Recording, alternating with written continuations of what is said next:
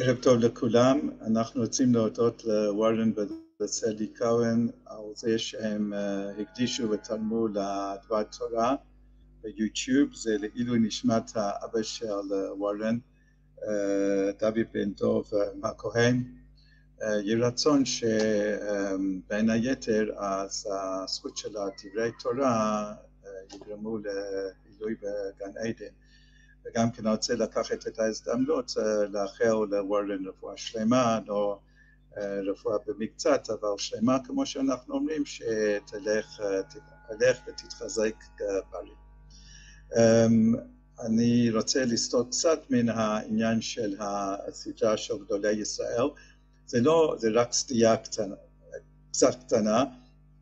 כי אמנם אני מדבר על תלמיד חכם גדול מאוד, רב ישראל רוזן, אבל הוא לא בלי ממש לזלזל חלילה חלילה, אבל הוא לא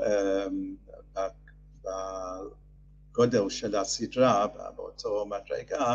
של גדולי ישראל, לפני שבוע דיברתי על הראש, רבנו אשר, באותו שבוע שהוא נפטר, היה, יש גם כן היוצד של החזון איש, של רב שך, של רב נחום פצ'וביץ' זצ"ל, ראש ישיבה של מיר,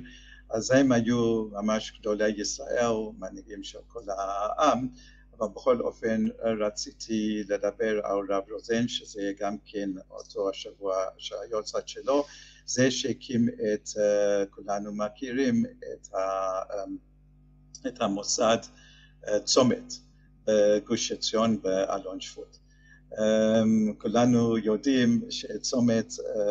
מה שהוא הקים, זה היה משהו להביא פתרונות טכנולוגיים לכל הבעיות בהלכה שיש במדינת ישראל, אז נגיד יש פלטה של שבת של צומת וחימום של צומת, כל העניין של גז, איך להשתמש בגז ביום טוב בצומת, יש גם כן כל הקולנועיות למיניהם, שזה גם כן יש קולנוע של שבת, המעלית של שבת, הכל, הכל זה בא מצומת שהוא באמת הקים. וגם כן לכל, אנחנו יודעים שיש תצפיתניות וגם כן רופאים בבית חולים, יש עת מיוחד לשבת, שכשאתה בן אדם כותב, אז הדיו זה מחזיק מעמד רק לכמה שעות, ולכן זה לא נחשב למלאכת קיימא, זה לא איסור דאורייתא, ואחרי כן במוצאי שבת לוקחים עט רגיל וכותבים. אז כל הפתרונות האלה, הרבה מהם, ממש רובם באים ממכון צומת, שהוא נולד ב-41 בתל אביב, והוא הקים, הלך לישיבות, למד ביישוב, הלך לישיבת כרם ביבנה, שזה היה ישיבת ההסדר היחיד אז בזמנו, ואז הוא ב-76, 76 הוא הלך, ל... לא לפני 76, הוא הלך מ-73 עד, עד בערך 76, הוא הלך נעשה מהנדס אלקטרוניקה, כי הוא למד במכון לב וגם כן בבר אילן, ואחר כך ב-76 הוא הקים באמת את, את צומת. וב-80 הוא גם כן ייסד את העניין הזה, שזה, יש כבר איזה 40 כרכים, שזה פשוט משהו, זה מפעל אדיר. שפה מדברים על כל הבעיות של הלכה וחברה במדינת ישראל. כשאנחנו אומרים בעיות טכנולוגיות זה לא רק בעיות טכנולוגיות, נגיד הוא גם כן, יש פה הרבה מדורים על כל מיני דברים של, של החברה הישראלית, האם נגיד אפשר להפגין נגד חילול שבת או האם זה, יש בעיה של לפני עיוור שאדרבה זה עושה את מביא יותר שנאה, או אם יש חיוב מחאה, כל הדברים האלה, זה, יש בירורים כאלה בתחומים. הוא היה גם כן ראש, הקימו בית דין מיוחד הוא ורב דרוקמן לגיור, שזה מאוד הפעים אותו, כל העניין של גרים, והוא מאוד התפעל איך שהגרים באים פה רוצים להתגייר, ובמיוחד הוא שם לב שרוב הגרים הם נשים, שבאים להתגייר אפילו לא, אין להם, אין להם עדיין בעל יהודי, אבל פשוט באים על הרוב כי הם מרגישים איזו משיכה למדינת ישראל ולתורת ישראל ובעיקר לקדוש ברוך הוא. אז מה זה קשור, הוא היה רגיל לצטט את רב הרצוג, זכר צדיק לברכה, הרב הראשי הראשון של מדינת ישראל,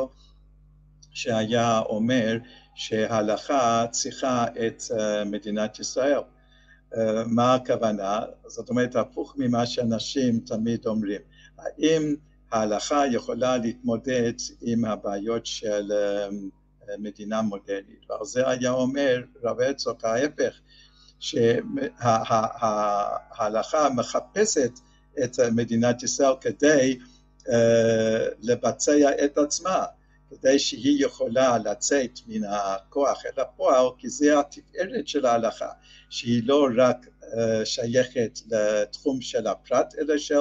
כלל ישראל, זאת אומרת שהחיים הכלליים, החיים הלאומיים, וזה הגדלות של, של ההלכה, שזה תורת חיים. אם הייתי חב"דניק אז הייתי אומר את זה בצורה חב"דית שהקדוש ברוך הוא ביקש דירה בתחתונים, זה מה שהוא רוצה, הוא רוצה שהתורה תתממש בכל מלוא תפארתה, זאת אומרת בחיים כלליים, ולכן הוא רצה כל כך לחבר את שני העולמות. איך זה קשור לפרשתנו? זה ככה שיש הסבר מאוד מפורסם של רב קוק שהעקדה מסתיימת בזה שאברהם אבינו יורד מהר המוריה ונפגש עם שתי הנערים שלו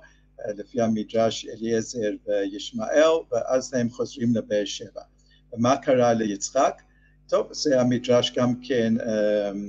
מוסיף, משלים את התמונה שיצחק אחרי הדבר הנשגב והנורא הזה של העקדה הוא הלך לישיבה של שם ועבר ואברהם אבינו הלך עם הנערים לבאר שבע. הרב קוק אומר זה מראה גם כן על הגדלות העצומה של, של אברהם אבינו שאחרי חוויה כל כך נוראה ומלא חוד של המסירות נפש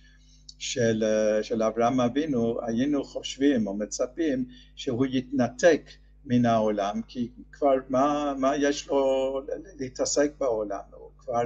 במדרגה של מלאכים. זה מזכיר להבדיל את הפעם קראתי על כשהצוות השלושה האסטרונוטים הראשונים שנחתו על הירח, אז האחד מהם עבר תקופה שהיה מאוד בדיכאון, והסיבה הוא אמר שהוא הרגיש שאין לו מה לתרום בחיים, הוא, הוא, הוא ממש הגיע לשיא האתגר, לשבור את האתגר הכי גדול בעיניו, כמה אנשים כבר בכל האנושות נחתו על הירח, הוא היה הראשון מהם, אז מה כבר יש לתרום? כל מה שיש לצפות הוא כבר עבר. לגבי אברהם אבינו זה לא היה ככה, אני לא בא בטענות, אני רק אומר, פה רואים שהגדלות של אברהם אבינו שהוא לא התנתק אבל הוא הרגיש והוא היה מודע שהוא צריך להמשיך את המפעל החיים שלו לקרב אנשים לתורה ולאמונה,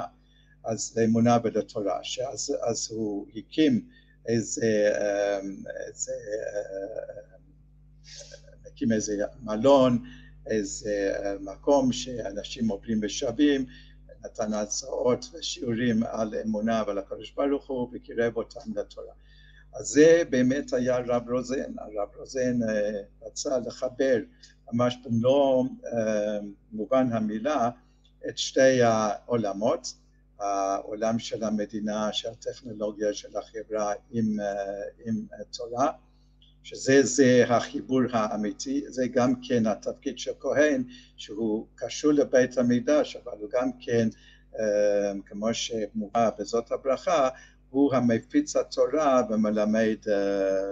תורה. אז שבת שלום לכולם